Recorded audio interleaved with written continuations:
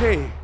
Dann würde ich mal sagen, wir haben jetzt lange gewartet, aber das Warten hat sich gelohnt. Er ist frisch geduscht und vor allem, finde ich, äh, kriegt er jetzt mal stellvertretend einen Applaus für die ganze Saison, die uns. Äh Vielen Dank. Dankeschön. Sehr viel Spaß gemacht hat. Unser Trainer Florian Kofeld. Es ist ganz, ich glaube, weltweit streng verboten, diese Frage in Interviews zu stellen, aber ich stelle sie trotzdem. Wie geht's dir gerade? ja, doch, eigentlich gut. Also, ich muss sagen, dass ich ähm, ja einen kleinen Hauch Enttäuschung natürlich habe, dass das große äh, Ziel, was wir hatten, was wir wollten, heute nicht mehr realisiert wurde. Wobei das in Wolfsburg ja eine knappe Kiste war. Ja. Ähm. Ich habe bis zum Schluss gehofft. Nein, aber ich finde, dass man einfach sagen muss, ähm, Pokal-Halbfinale, 53 Punkte. Ich würde mich extrem unglaubwürdig machen, wenn ich sagen würde, ähm, mit unserer Leistung müssen wir zufrieden sein dieses Jahr. Sie hat nicht dafür gereicht und äh, vielen Dank. Danke. Sie hat nicht dafür gereicht, was wir wollten, aber ganz, ganz viele Dinge haben wir erreicht. Wir, wir, wir stehen für was. Wir, wir, ich glaube, jeder, der hier hinkommt, weiß, was passiert und das ist was Schönes. Ähm, wir haben Spieler entwickelt, die Spieler haben sich entwickelt, nicht wir, die Spieler haben sich entwickelt. Und wir haben wieder eine Basis, auf der wir die nächsten Jahre dann ein paar mehr Punkte holen, damit das auch sicher reicht. Am Ende ist es jetzt Platz 8. Fühlt er sich an wie Platz 8 oder fühlt er sich irgendwie anders an? Ja. Ja, weiß nicht. Ich glaube, ich bin noch nie Achter geworden. Ich weiß nicht, ich habe keinen Vergleich. Aber ähm, nein, er fühlt sich aber ganz ehrlich nicht, nicht, nicht nicht, also nicht richtig gut an. Es ist Achter. Wir wollten was anderes, da müssen wir ehrlich sein. Und äh, von daher, der Fußball, die Art und Weise, das, was die Jungs auf den Platz gebracht haben, welche Leidenschaft, welche Begeisterung, die fühlt sich einfach geil an. Und ich bin dankbar, dass ich äh, das miterleben durfte.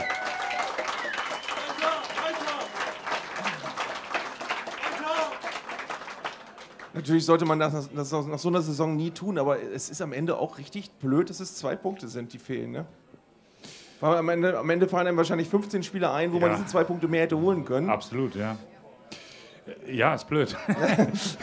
Aber ähm, ich glaube, es macht keinen Sinn, danach zu suchen, wo die einzelnen Punkte sind. Das mhm. macht keinen Sinn. Dann können wir anfangen gegen Dortmund, wo wir am Ende noch die Möglichkeit haben. Dann können wir vielleicht auch über das Heimspiel gegen Hoffenheim reden. Wir können über das 1-1 gegen Stuttgart reden, wo Stuttgart den Ball auf der Linie klärt, der Schuss von Nori. Mhm. Da würden mir 100.000 Situationen einfallen, ähm, äh, wo wir noch zwei Punkte mehr hätten haben können. Aber wo wir darauf achten müssen, ist, gibt es systematisch Dinge, mit denen wir Probleme hatten, wenn ein Gegner so gespielt hat oder so gespielt hat. Und das werden wir, werden wir auf jeden Fall tun, weil, ähm, nochmal, das stand da oben an der Ostkurve, das fand ich eins der treffendsten Spruchbänder überhaupt. Mein Gefühl ist, und das ist dieses Gefühl, was ich gerne mit allen teilen möchte, ist, das war der Anfang, das war nicht das Ende. Mhm.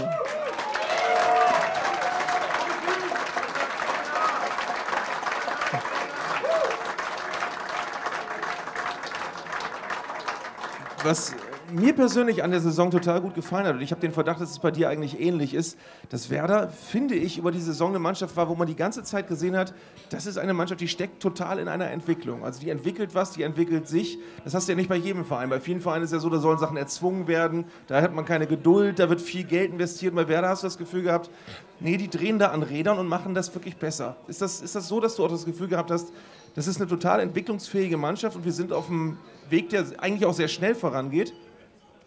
Ja, er ging manchmal fast zu schnell. Also muss man auch ehrlicherweise sagen. Ich, ich teile dein Gefühl total. Aber fußballerisch mussten wir wirklich sehr, sehr schnell sehr viel äh, lernen und haben Dinge, Dinge umgesetzt, die, die wir so gar nicht erwartet hatten, muss man ganz ehrlich sagen. Aber schön, dass wir es gemacht haben. Und ähm, auch da gilt, wir haben sehr viele Spieler, die einfach auch noch nicht lange nicht am Limit sind. Also äh, auch wenn er eine überragende Rückrunde gespielt hat, Milot Rashica ist noch lange nicht am, am Limit. Ähm, Maxi wird noch weiter wachsen, Jojo definitiv. Und Kevin Möwald geht mir so ein bisschen unter. Der kam aus der zweiten Liga, der hat die letzten Spiele gespielt, wie einer der 300 Bundesligaspiele hätte. Und äh, Julia, erwähnst du Julia, auch Julia ist, äh, das, das sind ja auch die Dinge, die dann einfach nicht perfekt gelaufen sind. Wir haben vorher gesagt, wir müssen am Limit sein, aber wir waren, viele Dinge sind passiert, die einfach nicht perfekt waren. Julia war vier Monate verletzt. Julia ist ein Top-Spieler in der Bundesliga für mich ohne Frage. Er ist nicht der Strafraumstürmer. Der letzte. Dafür haben wir ihn aber auch nicht geholt. Mhm. Wie der sich im Zwischenraum bewegt, wie der ein Spiel lenkt, wie er es liest. So, und ähm, da wollen wir weitermachen an, an diesen Punkten. Kannst du denn für dich als Trainer eigentlich sagen, was sich. Der junge Peruano hat sich auch gut entwickelt. Ach, der hat sich auch ganz gut entwickelt.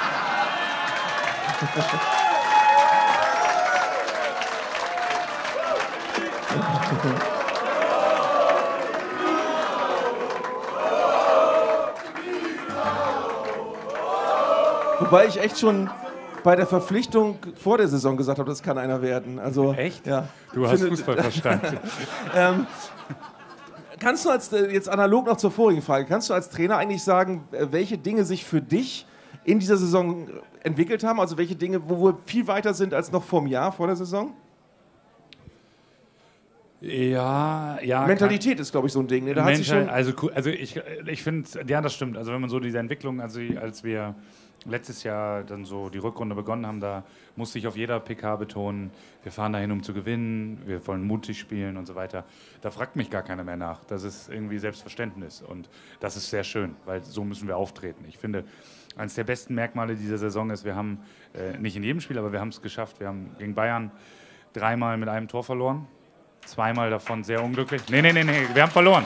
Kein Applaus für Niederlagen. Kein Applaus. Ähm, aber wir haben Dortmund geschlagen, wir haben Leverkusen geschlagen, wir haben Leipzig geschlagen. Und das sind die vier Mannschaften, die jetzt in die Champions League gehen. Und wenn ihr mich fragt, war es kein Zufall, sondern das sind Leistungen, die reproduzierbar sind. Das ist etwas, was, was, äh, was, was ich gut finde, dass wir uns auf diesem Niveau so langsam sagen, hey, wir können das, das funktioniert, die Lösungen funktionieren, auch gegen die Top-Mannschaften. Das ist gut. Mentalität ist natürlich dieser Punkt, da kann ich nur alle Hüte ziehen, die ich habe. Wir haben nie aufgegeben. Also über die Saison gesehen, aber auch in jedem einzelnen Spiel. Nie aufgegeben. Und äh, ich glaube, das ist auch was, was, was alle honorieren und äh, wo wir den Jungs einfach dankbar für sein müssen.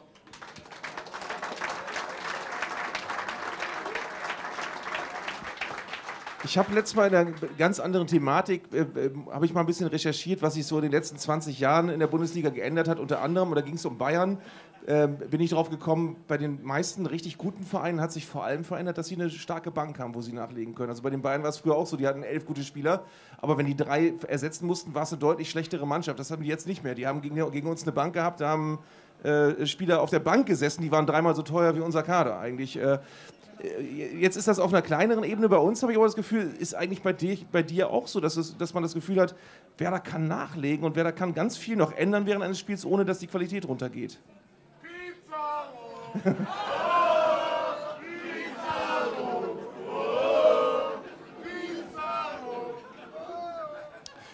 Ja, äh, das funktioniert meistens.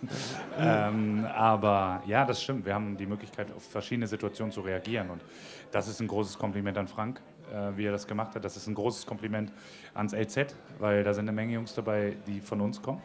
Ähm, einen Josh haben wir im Jugendbereich verpflichtet, einen Jojo Eggestein, Maxi habe ich schon erwähnt, aber das sind alles Jungs, die, die uns einfach diese Breite geben, äh, ohne dabei an Qualität zu verlieren. Und das ist, das ist top, das ist für einen Trainer gut. Nächstes Jahr werden wir 20 Mann mit in den Kader nehmen können. Es gibt ja eine Regeländerung. Und dann wird es umso wichtiger, gerade im Offensivbereich, diese Breite zu haben, um auf Spielsituationen reagieren zu können. Und äh, ja, von daher äh, gebe ich dir total recht. Das ist ein Qualitätsmerkmal, was wir haben, ähm, was eher ungewöhnlich ist für eine Mannschaft mit dem Budget, was wir haben. Ähm, um einen kleinen Ausblick noch zu wagen, wir haben ja letzte Saison tatsächlich äh, auf vielen, vielen wichtigen Positionen neue Spieler gehabt und einen Umbruch gehabt, der so in der, in der Tragweite lange nicht mehr passiert ist bei Werder. Gehe ich recht in der Annahme, dass wir in diesem Sommer keinen so großen Umbruch erleben werden? Ja, uns hat ein wichtiger Spieler jetzt verlassen mit Max. Ähm, was betone ich auch gerne in dem Rahmen mal nochmal für mich persönlich, im persönlichen Verhältnis tat mir das sehr, sehr weh, weil ich Max sehr, sehr geschätzt habe, weil wir ein sehr, ich schätze ihn immer noch, weil wir ein sehr großes Vertrauensverhältnis haben weil er eine prägende Persönlichkeit war die letzten Jahre. Und ich, ich war leider nicht draußen, aber ich habe gehört, dass der Abschied auch angenehm war und das hat er auch mehr als verdient. Er ist damals gekommen in einer Lage, da hätte, wenn er nicht Liebe für Werder gehabt hätte, wäre kein Mensch mit seiner Qualität vor drei Jahren hier hingekommen. Das müssen wir anerkennen und äh, das ähm, hat uns Das hat uns jetzt drei Jahre sehr geholfen und jetzt sehe ich aber auch die Möglichkeit, weil wir eben so einen Kader haben, wie wir ihn haben, ähm, auch eine sehr große Chance da drin. Weil natürlich Max auch sehr prägend war für unser Spiel, gewisse Dinge vorgegeben hat, die dann nicht mehr zu verändern waren. Das wird nächstes Jahr etwas anders sein und um auf deine Ursprungsfrage zurückzukommen, ähm, ich glaube, und bin mir sehr sicher, dass er der einzige Stammspieler ist, der uns verlässt und dass wir den Rest beisammenhalten. Die Gespräche sind geführt. Die Jungs wollen diesen Weg weitergehen und dann gehen wir. Okay, dann würde ich sagen, ihr habt noch zwei Freundschaftsspiele, dann äh, ist Sommerpause. Ja. Freuen wir uns einfach alle gemeinsam auf das, was kommt. Ich mich auf jeden Fall. Florian Kofeld, liebe Freunde. Ähm, ich glaube, jetzt musst du Autogramme geben und Bilder machen, ehrlich gesagt. Sehr gerne, dann mal los.